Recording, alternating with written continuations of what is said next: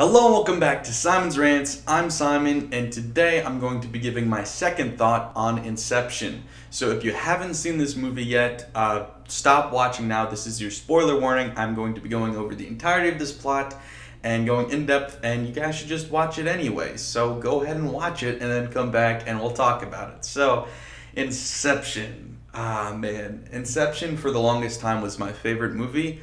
Um, it's still up there for me but it's uh, not my favorite in case you've missed it before. I've said it a million times. My favorite movie of all time is Eternal Sunshine of the Spotless Mind, but Inception is a fantastic movie. One of Nolan's simpler movies. It's not really that mind bending, um, even though literally the plot of the movie is to bend things with your mind, you know.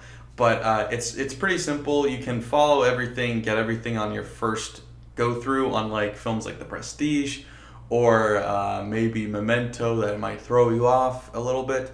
This is pretty straightforward. And the plot of it is uh, Leonardo DiCaprio plays a thief, so to speak, um, where in the near future, there's this ability to uh, go into other people's minds via their dreams. And now it is a legitimate form of crime to steal thoughts from people. You can steal people's passwords, you can steal their personal information, you can steal all sorts of stuff and then sell it. Um, and uh, there is a um, owner of a business who wants to do kind of the opposite of that by getting a competitor to his business to actually be given a thought, given an idea in his dreams. So that's, you know, Inception, having the beginning of an idea put into his brain. And so they say that it is possible, but it's extremely dangerous, extremely difficult uh, because you have to go multiple layers deep into um, the dream. So a dream within a dream within a dream.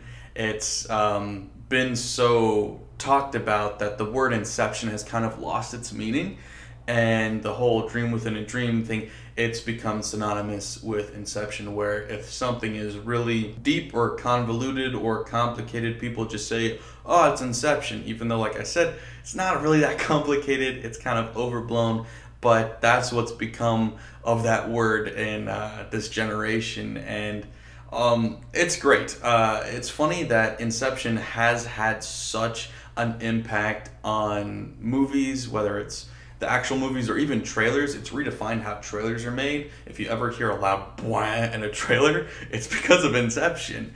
Um, and uh, just the way that people have talked about um, movies and pop culture and everything, it's changed so much.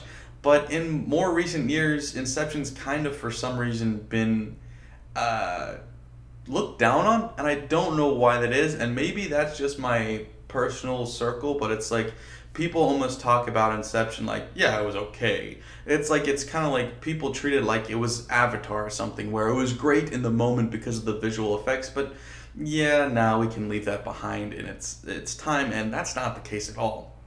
Um, it's like I said, not the most complicated or most complex or uh, interesting idea that Nolan's ever come up with, but it is a great movie. Not perfect, but it is great. Um, honestly, my only flaw with this movie that I can come up with is a nitpick, and somebody I'm sure has talked about it before, but um, they don't really explain how they all end up together in the same dream because you see people get the IVs in and then they fall asleep and then next thing you know they're all in the same dream together. They don't really explain how that works. Um, to me, that's a nitpick, though. That's not something that necessarily needs to be explained. This isn't a science fiction movie.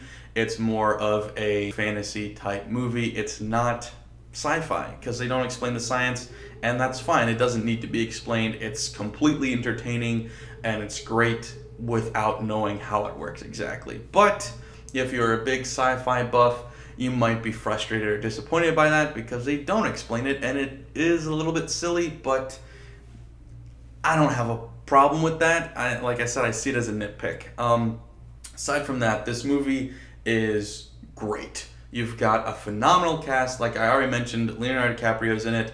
It's got Tom Hardy, Joseph Gordon-Levitt, Cillian Murphy, Ellen Page, Michael Caine, um, Ken Watanabe. It's a fantastic, fantastic cast. They all do great.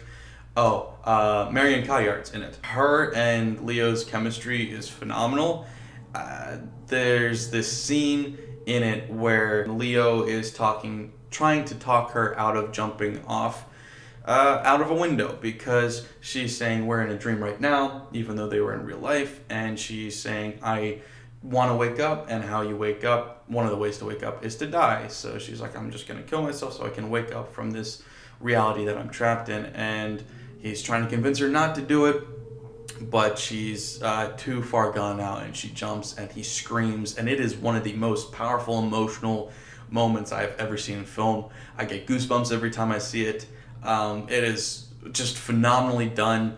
Uh, the editing of it, the way that like it shows her begin to jump and quick cuts away to him and his reaction, it's just phenomenal. I can't get enough of acting like that. It's just so good, and um, this movie is full of just awesome moments like that. There's great visual effects. Um, through the CGI, through pra- practical effects, the whole thing looks awesome. And with the cast just being beautifully directed by Nolan. There's just so much to love about this. I don't know why anybody would dislike this movie. There's not really anything to dislike about this movie.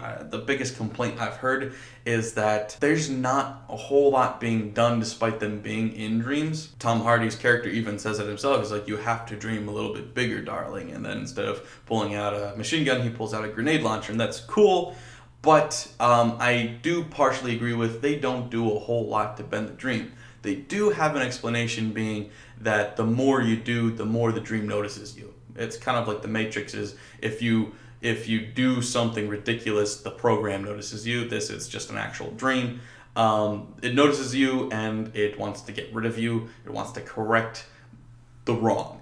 Um, so that's a reasonable explanation, but there's definitely something more you could have done with it. Um, you could have done more exciting dream scenarios. I didn't really have any problem with it. I thought it was very exciting.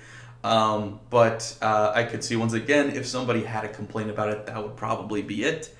Um, but really, you're just searching for nitpicks at this point. You're reaching. There's not much at all to dislike about this movie. It's so good in every way. Um, and we haven't even gone to the ending yet. And the ending is I think the best ending I've ever seen in a film. Now that's debatable because uh, obviously you've got other great uh, endings of all time to talk about. You can bring up Psycho, where you've got the inner monologue at the end. Uh, if you haven't seen that, I'm not going to spoil anything. But if you if you've never seen that, it's just got a phenomenal ending. Uh, if you've seen it, you know what I'm talking about. Um, Citizen Kane's got a phenomenal ending. Um, there's tons of great endings out there, but I would definitely put Inception up there as one of the greatest endings of all time. If you don't know what I'm talking about, I'm talking about, of course, the spinning top. Does it fall over? Does it keep going? We don't know. And that's fine. But, but, I personally believe that it does fall over based on some different theories that people have come up with. I didn't come up with this theory, I don't want to take credit for it. Um, but there is a theory that whenever he's in a dream, Leonardo DiCaprio's in a dream, he has his wedding ring on because in his dream, Mal is still alive, so he's therefore still married. Whenever he's awake, he doesn't have the wedding ring on because he's aware that she's dead and he's no longer married to her. So, um, according to that theory, at the end of the movie, he's not wearing the wedding ring and therefore he is awake. Um, but I've heard plenty of people coming against that theory and having different theories, like why aren't the kids any older, and different things like that. So you kind of just have to decide for yourself what you want to believe. Um, and you can try and figure it out, but there might not even be a definitive ending that Nolan actually had in mind. He probably did, considering it's Nolan and he's very intelligent, but maybe not. You don't know. So it's it's such a great ending. It's such a phenomenal, brilliant ending because it it leaves you so open to interpretation while simultaneously letting you know it doesn't matter because as most of Nolan's movies go, it's all about perception. And I brought it up in Memento and um, how he's got the is the world still there when I close my eyes? And he goes, Yes, so I can close my eyes and it doesn't matter. I can choose to believe what I believe and the world will go on. And this is a similar situation uh, in Inception where uh, we, the audience, wait to see if the top falls down or not, but Leo doesn't. He does not care. At this point, he's said, Hey, maybe I'm dreaming, maybe I'm not. I don't want to know because I am choosing to believe that this is my life and I don't care. I do not care. However, you want to take that philosophically, if you agree with that, if you don't agree with that, I think that's a great ending because that is a complete character arc, and we've seen that growth through um, Leo throughout this movie from being somebody who is so obsessed and so concerned about what's real and what isn't. He gets to the point where he just wants to be happy, he just wants to um, achieve this goal and he's fine if it's fake because he's just willing to accept it what it is. You can say that that's foolish, you can say whatever you want about that, but I think it's a brilliant ending and I think it's just fantastic writing by Nolan. I know it was a passion project he'd been working on for years.